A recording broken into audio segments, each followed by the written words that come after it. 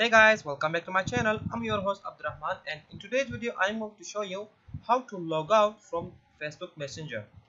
As you can see now I'm currently logged into my Facebook Messenger but here I don't have any option to log out as you can see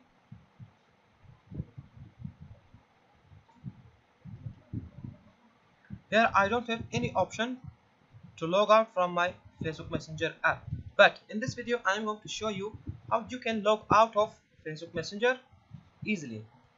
Okay to do that first of all go to your phone settings. After that tap on apps or application manager. Now find Facebook Messenger app from here. Here's mine just tap on that.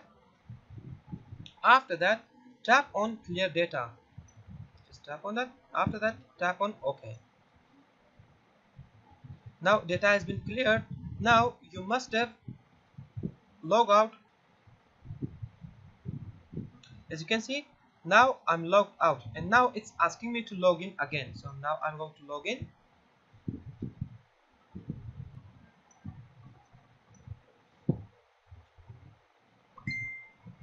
Now you can see now I'm on Facebook Messenger.